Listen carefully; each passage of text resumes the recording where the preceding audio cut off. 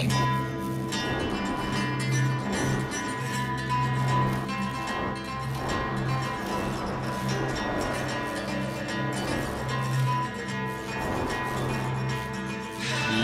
Freunde, willkommen zurück zu Nuclear Throne! Mein Gott, liebe Freunde, wie lange ist es her? Ich sag's euch, der 10.06.2015 war das Datum, mit dem ich zum allerletzten Mal Nuclear Throne gespielt habe auf meinem Channel. Nuclear Throne Part 8 und es war als Chicken, falls ihr euch noch dran erinnern könnt. Und äh, danach keine Ahnung, habe ich das Game nie wieder wirklich angerührt, weder auf YouTube noch äh, privat, glaube ich. Und ich muss sagen, seitdem hat sich definitiv einiges getan. Und äh, gestern, oder nee, vorgestern war das genau, äh, aus heiterem Himmel habe ich irgendwann mal durch meine Steam-Liste geschaut und habe gesehen, ey, Nuclear Throne, das hast du doch mal eine Zeit lang gezockt. Hab das Game angemacht, hab vier Stunden oder fünf Stunden in die letzten zwei Tage schon wieder investiert. Hab so gut wie alle Charaktere freigespielt, denn da wurde mittlerweile auch einiges getan. Du beginnst, wie man Charaktere freispielt, was ziemlich cool ist. Äh, so die wichtigsten habe ich äh, mittlerweile freigespielt und äh, ich würde sagen, wir steigen wieder wunderbar ein in Nuclear Throne, denn eine Sache, die sich ebenfalls nicht geändert hat, ist, dass ich noch nie den fucking Nuclear Throne erklommen habe. Weder auf YouTube noch privat und ich würde sagen, ähm, wir kennen das ja, wie in allen Roguelikes, zu Beginn ist man ziemlich scheiße und man wird progressiv immer, immer, immer, immer, immer besser. In Binding of Isaac ist das bisher zwar bei mir noch nicht eingetreten, aber ihr wisst, was ich meine. Vorher hat man in Binding of Isaac Probleme noch in den Depths gehabt und dann vielleicht später noch in der Womb, aber irgendwann äh, geht das so über und man, äh, man erlernt natürlich die ein oder andere Sache.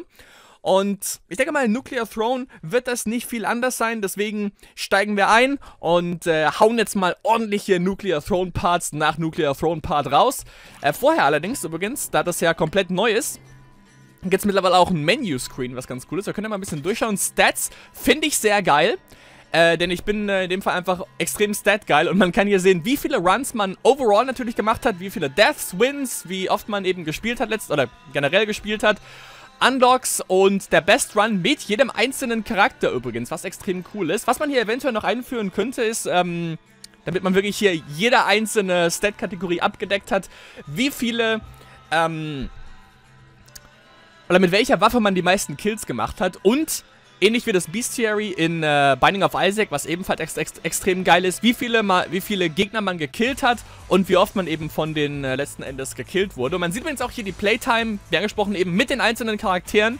Und anscheinend habe ich in YV mit das meiste reingesteckt bisher, was mich nicht wirklich wundert. Chicken habe ich übrigens auch unlocked vor kurzem. Und genau, äh, Crystal und YV, da hat sich nach wie vor nichts getan. Definitiv meine Favoriten. Wobei Plant übrigens mit der Rechtsklick-Ability auch ganz cool ist. Aber, übrigens, mittlerweile gibt es auch Weeklies, was extrem cool ist. Aber wir machen das so wie damals. Wir machen ein, zwei Normal Runs und dann hauen wir den Daily hin hinterher. Und äh, was ich übrigens auch schon gemacht habe, ist ein paar Golden Weapons, äh, nämlich habe ich hier unlocked. Und zwar, und mittlerweile auch schon eine Crown. Einmal war ich im Crown Room, keine Ahnung warum. Aber ich habe jetzt hier für Fish den Golden Grenade Launcher, was nicht die beste Waffe ist. Ups. Nicht die beste Golden Weapon, die man sich äh, gönnen kann. Hier den Golden Crossbow mit Crystal. Zu Beginn nicht wirklich gut, aber später auf jeden Fall. Für Ice habe ich noch nichts, für Melting ebenfalls noch nicht, für Plant nicht, für YV logischerweise Golden Revolver. Ich glaube, ich meine, ich war neulich in YV's Mansion mit ihm, aber naja. Für ihn habe ich die Golden Machine Gun für Steroids. Und für Robot, für Chicken und für Horror in dem Fall noch nichts. Aber Chicken möchte ich ehrlich gesagt das äh, Sword auch nicht wirklich hier auswechseln. Ich würde sagen, wir sind zurück in Nuclear Throne. Und dann nehmen wir natürlich den Main Character, nämlich Fish. Und dann würde ich sagen, I report. With my hands. Äh, fangen wir, äh, machen wir mit dem Revolver. Wollen wir hier Golden Grenade Launcher, natürlich. So, natürlich, die Ability ist immer noch dieselbe. Mit Rechtsklick können wir hier eine ordentliche Rolle machen. Und unser Throne Butt, was ja quasi unsere Rechtsklick-Ability verstärkt. Bei Crystal nicht unbedingt. Da würde ich sagen, ist es sogar ein bisschen schlechter. Je nach Umstand allerdings. Ähm... Äh, durch Rechtsklick haben wir eben, äh, ich habe quasi eine Barrel Roll. Dann können wir das hier also wenn ich jetzt Rechtsklick drücke und gedrückt halte, haben wir nur so eine kurze Rolle. Und wenn ich Rechtsklick gedrückt halte und wenn, mit Throne Butt, dann können wir uns durch die ganze Map tumbeln. Wir nehmen logischerweise, also wir sind, wir sind nicht invincible währenddessen, sondern wir nehmen natürlich weiterhin Schaden. Deswegen ist daran noch absolut gar nichts OP. Und da haben wir auch schon Throne Butt Water Booster ist das Ganze, genau. Und jetzt halte ich mal Rechtsklick gedrückt. Und dann können wir uns hier wunderbar sehr schnell durch die Map bewegen. Haben einfach ein bisschen mehr Kontrolle. Mehr oder weniger, je nachdem, ob man mit schnellem Movement besser oder schlechter zurechtkommt. So schnell will ich mich hier nicht geschlagen geben, auch wenn es nicht der Daily ist, aber dennoch. Sind gerade erst zurück. Und da, ups, hoffe ich mal, dass wir die ein oder andere gute Chose hier durchkriegen. Bin ja auch mittlerweile schon ein bisschen in Cigarette geübt, das heißt... Und natürlich äh, Binding of Isaac spiele ich weiterhin. Das heißt, Roguelike-technisch bin ich hier definitiv nicht eingerostet. Das ist nach wie vor eines meiner Lieblings... Ja, Ranch mit. Meiner Lieblings-Genres. Äh, Warte Fast Level 3 sogar erreicht, nicht ganz allerdings. Jetzt haben wir auch gleich den guten Banditen der übrigens auch mittlerweile ein sehr, sehr gutes Intro bekommen hat. Jeder einzelne Miniboss, um genau zu sein. So auch Lil Hunter. Sau nervig, der Typ. Und hier haben wir das Intro, Big Bandit. Und dann suche ich schon mal direkt ein bisschen Schuss, äh, Schuss, ja, ein bisschen Schutz, logischerweise vor dem Kollegen. Wir können natürlich, wie ihr seht, während der Barrel Roll können wir auch ohne Probleme weiterhin schießen. Die Schüsse können wir mit dem Wrench auch schön repellen oder von den Scorpions zumindest ähm, in Luft auflösen. This Gun, ne. Nicht meins. Könnte man gegen Rebel allerdings, äh, gegen Bandit allerdings benutzen. Okay, Dankeschön für die HP. Machine Gun nehme ich mal mit. Ah, ich glaube, ja doch, Machine Gun und äh, Laserpistol ist eine ganz gute Kombo, glaube ich. Max HP oder Some Kills Regenerate HP? Nehmen wir erstmal Max HP. Nehme ich eigentlich immer mit, weil Last Day Before Retirement. Noch nicht ganz wahrscheinlich. Wir sind ja gerade erstmal zurück. Und wie oft übrigens jetzt hier Nuclear Throne kommt, kann ich natürlich nicht genau sagen, aber ich werde auf jeden Fall... Ich habe wieder Feuer gefangen mit dem Game und deswegen wird es auf jeden Fall nicht wenig werden, so viel kann ich schon mal sagen. Wird auf jeden Fall ein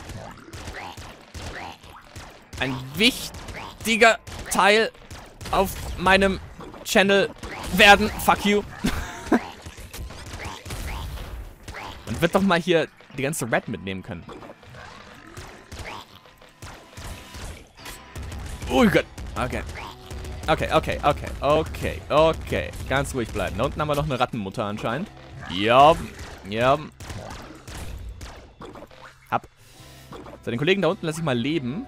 Ich will nochmal hier den Flameshot. Gerne. Flame Shotgun ist eine richtig geile Waffe. Hat, hat schönen Damage over time, wenn wir Gegner damit treffen. Ist ja herrlich. Okay, war sogar der letzte hier.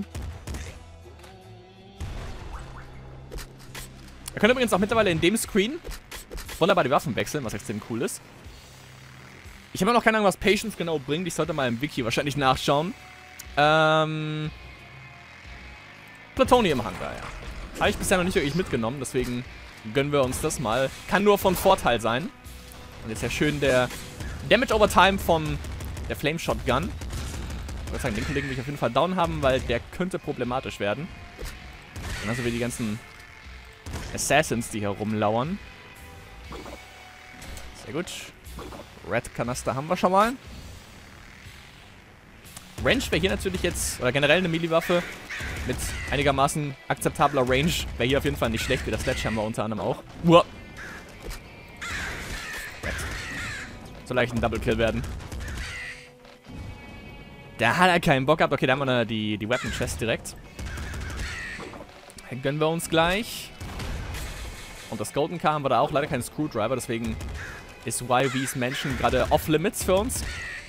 Es könnte sein, dass da unten ein Screwdriver ist, aber möchte nicht wirklich... Obwohl, wir haben nur den Golden Grenade Launcher als Fisch. Jackhammer, keine Ahnung. Extrem geiler Finishing Move von Goldberg, aber in Nuclear Throne kann ich mit der Waffe irgendwie nichts anfangen. Ist eine Milli-Waffe mit, äh, mit Ammo. Nicht meins. Man hat auch eine extrem kleine Range. Ja, ja, ja, ja, ja. Mit dem Water Boost schön in Sicherheit gebracht. Hoffen wir mal, dass die Kollegen das ja, Portal da, das, das Heaven's Gate, nicht in die Luft sprengen, sonst haben wir ein kleines Polizeiproblem. Also solange wir da außerhalb, uh, außerhalb der Range bleiben, sollten wir da safe sein. Ich habe das nur ein... Genau. Ein Sniper-Rifle-Kollege da. Ein Neighborhood Sniper. Der da eventuell Damage machen könnte die ganze Zeit. Da oben haben wir die Weapon Chest. Äh. Oh ja. Heavy Crossbow, aber hallo. Aber hallo nehme ich den Heavy Crossbow. Okay. Some kills regenerate HP, auf jeden Fall. Jetzt haben wir auch Big Dog direkt als... Mit dem wir uns rumschlagen müssen hier. Nächster Boss. Oh, weia. Jungs. Stress. Aber jemand...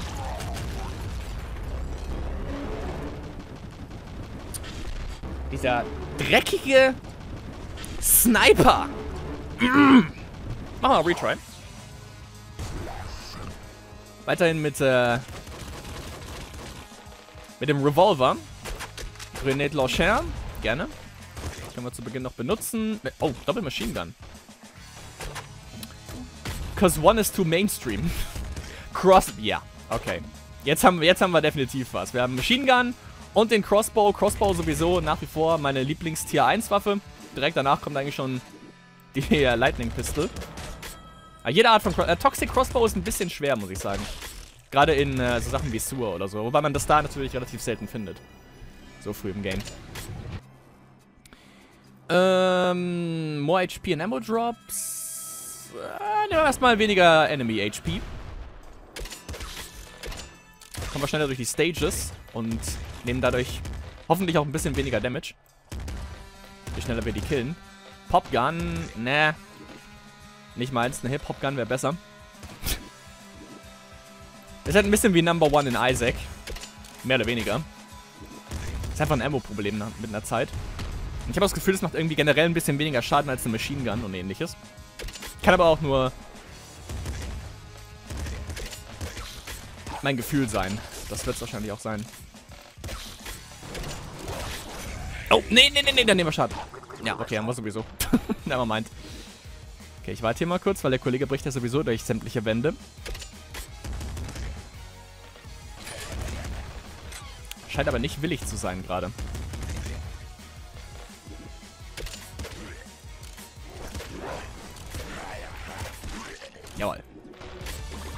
Schön brav auch noch AP gedroppt.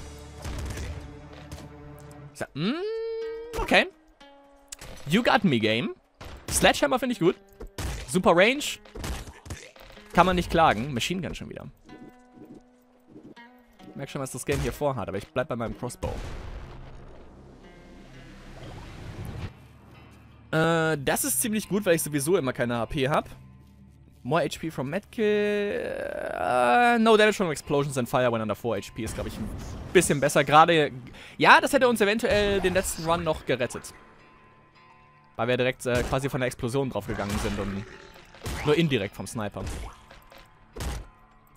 Ah, Ratten. Mutter schon wieder und wir haben nicht beste, in Anführungsstrichen, Reload-Time mit der, mit dem Sledgehammer. Ups. Da schon wieder eine Flame Shotgun. Leider nicht.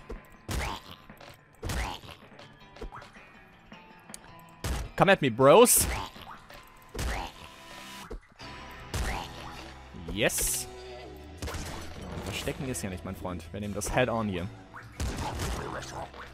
Leichter Jumpscare.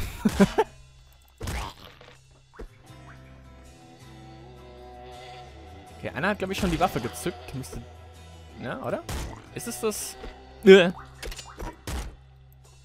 Ah, komm, noch ein bisschen... Ja, dankeschön. Sehr gut. Komm schon ein bisschen näher, denn ich beiße dich nicht. Yes. So, 4 AP. Extra Chest Spawn. Chest Spawns further. Ah, Chest Spawn. Oh, zwei Red -Kan. Mm, und direkt am, am Start. Sehr schön. Sehr, sehr schön. Wrecked. Achtung, die Sniper explodieren natürlich. Äh, bam, bam, bam, bam, natürlich auch. Golden Car haben wir hier.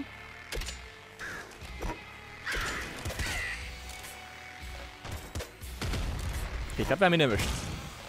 Was kompletter Luck, komplettes Luck war übrigens. Ja, haben wir. Ah, Red. Okay. Na, gut. Ein HP übrigens.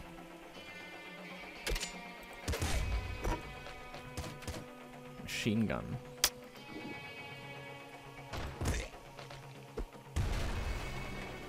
Es gibt einen Full HP Perk. Leider haben wir kein Level Up bekommen. Okay. Oh, okay. Und da war noch einer anscheinend, noch ein Sniper. Ich riskiere die Red auf jeden Fall nicht. Das ist extrem gefährlich gerade da unten. So ist der. Okay. Wir sind alle irgendwie ein bisschen lebensmüde. Nee. Okay. nee. Okay. No. Kann man jemanden HP...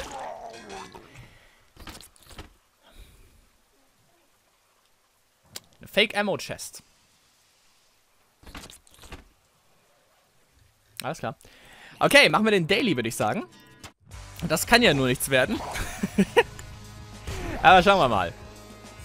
So. Der Unterschied übrigens zwischen Daily und Weekly ist nicht nur, dass ein Daily logischerweise Daily ist und ein Weekly wöchentlich, sondern dass es im Weekly auch noch bestimmte Kriterien gibt. Das heißt zum Beispiel, dass ein Charakter auf jeden Fall vorgegeben ist und dass der mit einer bestimmten Waffe oder sowas startet, was ganz cool ist. Crossbow? Äh, Double Crossbow wäre geil, aber leider sind wir nicht Steroids. Assault Rifle, yup. Okay.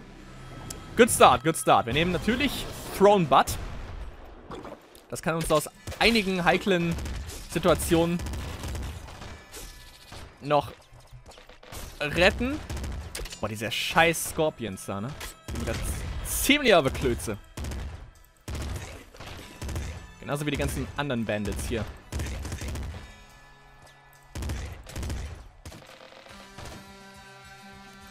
Shotgun, uh, what a boy. Natürlich Double, Double Scorpions, macht Sinn. Nicht so der Fan davon der Assault Rifle, zumindest zu Beginn. Finde die Machine Gun irgendwie ein bisschen besser. Leider kein Level Up. Die großen Kollegen werde ich hier schon mal aus dem Weg haben, damit ich mich gleich hier one-on-one -on -one, im besten Fall mit dem Bandit beschäftigen kann. Ups. Aiming wie in Overwatch, der Giant. Hellraiser.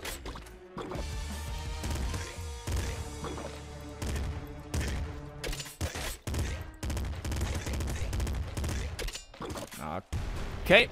Und die Pop Rifle. Nein, danke. Nicht interessiert. Plus 4 AP. Thick Skin. Oder Rhino Skin.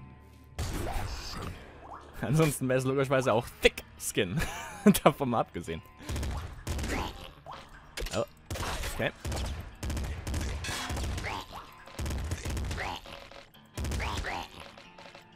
Sehr gut. Oh, nicht so gut. Also uns hier, glaube ich, ein bisschen langsamer fortbewegen. Weil man hier doch teilweise Gegner ein bisschen schlechter sieht. Die gerne auf Körperkontakt gehen. Die meisten. Dub. Hm. Double Shotgun. Aber eine ähnlich lange Reload-Time. Na, bleib ich mal bei meiner bisherigen Waffenkombi. Habe ich irgendwas übersehen? Ich schaue nochmal nach. Wir haben ja zum Glück Water Boost, damit geht es einigermaßen fix. Ich glaube, wir haben hier alles mitgenommen. Ja, allerdings. Sewer haben wir damit hinter uns. Das heißt, unser Kryptonit, bisher zumindest, der Scrapyard, kommt als nächstes. Most Hit Bullets become Ammo zählt übrigens nur für Machine Gun, Revolver und Assault Rifle und Popgun. Ja, Scrapyard. Größten, größtenteils hierfür eigentlich. Nicht vergessen, es ist der Daily, von daher wollen wir uns natürlich einigermaßen gut schlagen, deswegen nehmen wir hier jede Sicherheitsmaßnahme, die wir kriegen können.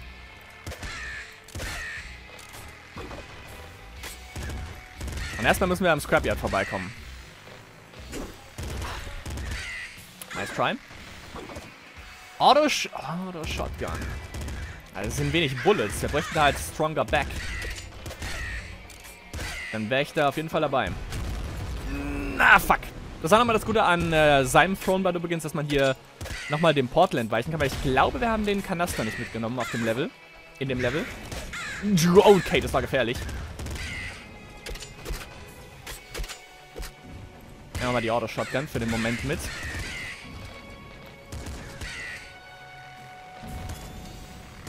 Die sind irgendwie heute extrem knausrig, habe ich so das Gefühl, mit HP. Kids. Kann das sein?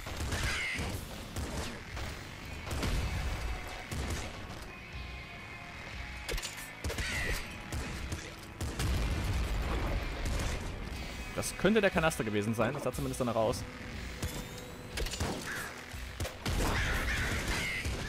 Ich höre schon, das, schon die Sirene. That's the sound of the police. Laserpistol. Das muss nicht unbedingt sein, ehrlich gesagt. Letzter Gegner haben wir da. Ja, komm. Bleiben wir bei der Auto-Shotgun. Auto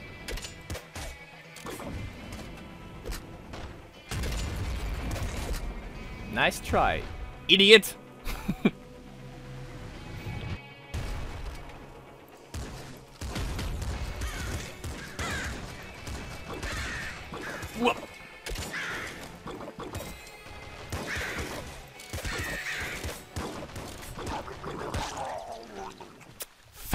Vultures! 3-3, das war sogar äh, Big Dog Stage, sehe ich gerade.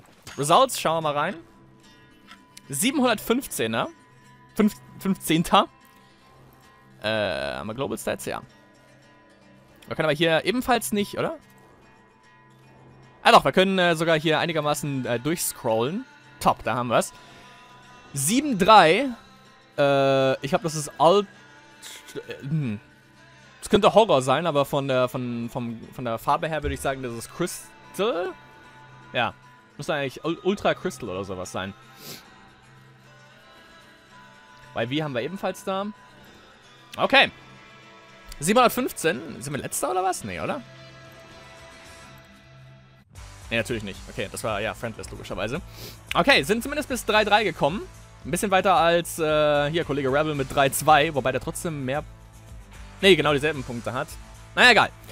Ich würde sagen allerdings, das lief doch einigermaßen passabel. Deswegen machen wir noch einen Run mit Fisch. So als Absacker quasi. Und dann war es das für die erste Episode. Mein äh, Kryptonit übrigens, als ich hier, ähm, whoops, privat bisher gespielt habe, war, oder das weiteste, das ich bisher hatte, war äh, die Labs, glaube ich. Direkt nach, ähm, Assault Rifle, sehr gut. Direkt nach der äh, Ice Stage quasi. Das Laboratory. Das ist bisher so das Maximum, das ich bekommen habe. Ich nehme natürlich Open Mind für mehr Chest Spawns. Oder mehr Ammo von Chest Spawns.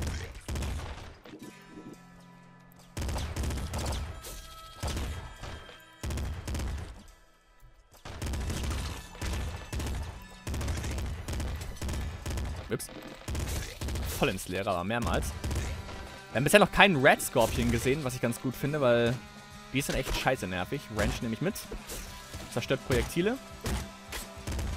Ja, zwar klar, dass es Double Scorpion da unten ist.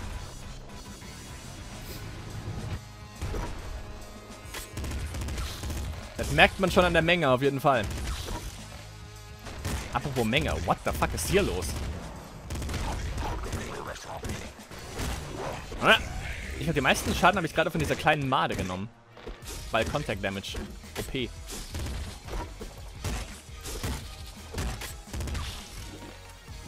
So, Red Kanaster mitnehmen. Noch eine Made haben wir da, genau. Und dann haben wir, glaube ich, nur noch den Herren...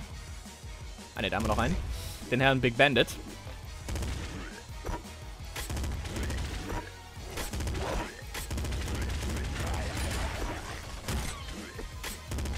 Haben ihn sogar mit seiner eigenen Bullet gerade nochmal erwischt. Triple Machine Gun ist äh, Waste of Ammo. Meiner Meinung nach. Rhino Skin. Jedes Mal. Aber irgendwie, keine Ahnung. Gehe ich dadurch trotzdem schnell down. Weil irgendwas, irgendwas hat es mit dem Perk auf sich.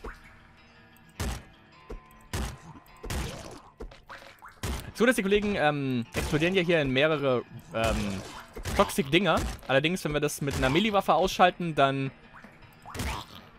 durch diesen Wish-Effekt quasi ähm, werden wir direkt los, die äh, zu uns kommen würden, diese Toxic-Dinger. Deswegen Melee gegen die Kollegen auf jeden Fall Strats. Zum Glück hat der Kollege gerade eben nicht geschossen übrigens. Uff. Okay, Double Weapon Chest, das ist natürlich super... Oh mein Gott. Ja, Bazooka ist useless, aber Flame Shotgun... Yes. All day, every day.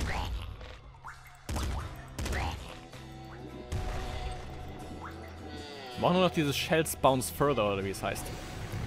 Mutate later. Ähm... Das könnte uns zum Verhängnis werden. Plutonium Hunger.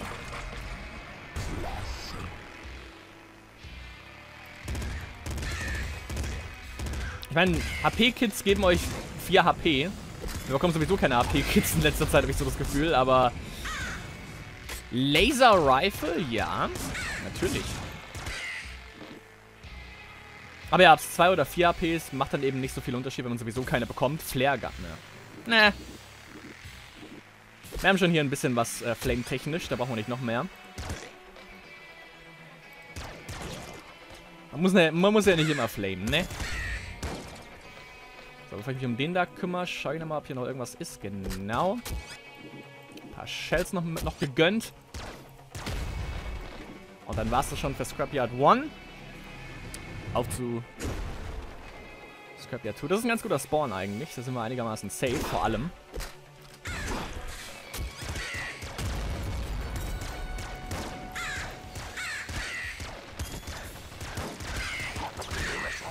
Dankeschön. Endlich mal ein Health Kit, das hier gedroppt ist. Meine Herren.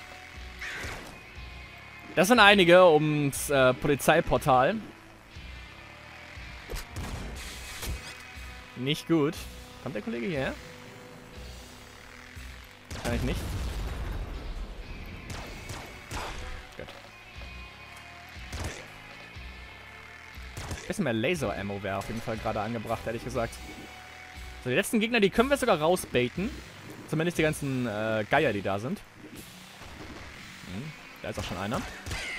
Bei den Rebels wird es ein bisschen, oder Bandits wird es ein bisschen schwerer.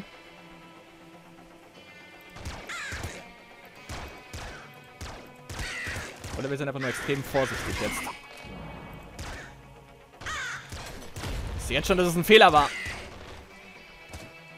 Was haben wir hier? Machine Gun. Hm. Haben nur noch extrem wenig, ähm... Okay, Energy. Da haben wir es auch schon. Ich hoffe, das zählt nicht als zerstörtes Portal. Ähm, dim, dim, dim, dim. Mm. Strong Spirit, why not?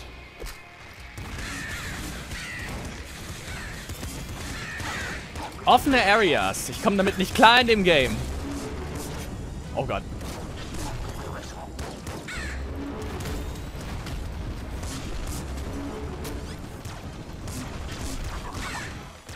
Oh, la la la la la la. Wir haben uns extrem lange gerade auf jeden Fall überlebt. Meine Herren, ich habe auch keine Ahnung, wie ich den beiden Snipern da letzten Endes gedodged bin. Aber die waren auf jeden Fall das Problem. Generell große Areale sind, äh, sind definitiv problematisch für mich. Mein Gott. Wir können jetzt nochmal durchschauen bei äh, Settings. Das habe ich ganz übersehen. Wir können äh, mittlerweile die Controls... Oh, wir haben Auto-Aim sogar. Ich glaube, das ist eher von Nachteil, ehrlich gesagt. Ähm, Aim können wir sogar auf Linkshänder stellen, was ganz cool ist. Gamepad-Support hat es ebenfalls, nur... Ich spiele so ein Game mit dem Gamepad, ganz ehrlich. Äh, Video können wir ebenfalls noch hier noch einstellen. Natürlich, das, ähm, die Screen-Größe können wir manuell natürlich ähm, einstellen. Ihr seht es gerade nicht, aber man hat äh, natürlich außerhalb von diesen schwarzen äh, Bars, wenn wir zum Beispiel den, den Screen nicht 800 mal 600 machen, sondern 800 mal 1000 oder sowas, dann haben wir eben noch so ein interessantes Muster, was man eben auswählen kann. Und ähm, das ist quasi... War das hier? Nee, war es bei Game? Oder was war bei Game? Auf jeden Fall kann man das irgendwo noch einstellen. Ich weiß noch gerade nicht wo. High HD kann man ebenfalls machen. Crosshair haben wir ebenfalls verschiedene.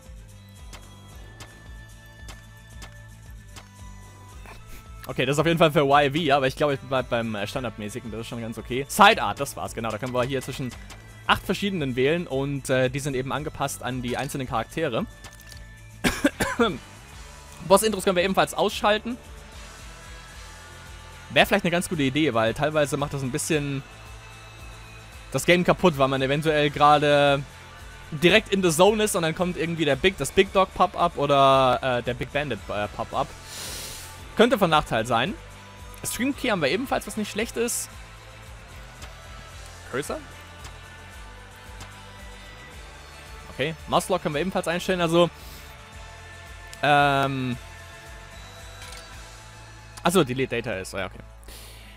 Generell auf jeden Fall einige Sachen, die man mittlerweile auch einstellen kann, was natürlich wunderbar ist. Und äh, ja, dann war's das für die heutige erste neue Ausgabe von Nuclear Throne. Ähm, ich denke mal, wir werden nochmal die ganzen Charaktere durchgehen, denn es gab ein paar Charaktere, um genau zu sein, fällt mir zumindest gerade einer ein, der auf jeden Fall ähm, unglaublich genervt wurde, aber ich glaube, das haben wir schon in einem der, in dem letzten Part äh, am 10.06.2015 schon äh, mitbekommen. Ich weiß gar nicht, ob das da schon geändert wurde, aber ich glaube schon. Äh, ansonsten, ja, äh, nächstes Mal dann natürlich Crystal als äh, Daily und als äh, Standard Run, logischerweise. Aber das war's erstmal für die heutige Ausgabe von Nuclear Throne. Ich hoffe, die heutige Ausgabe hat euch gefallen. Und dann sehen wir uns beim nächsten Teil von Nuclear Throne. Wenn ihr denn wollt, wieder, liebe Freunde.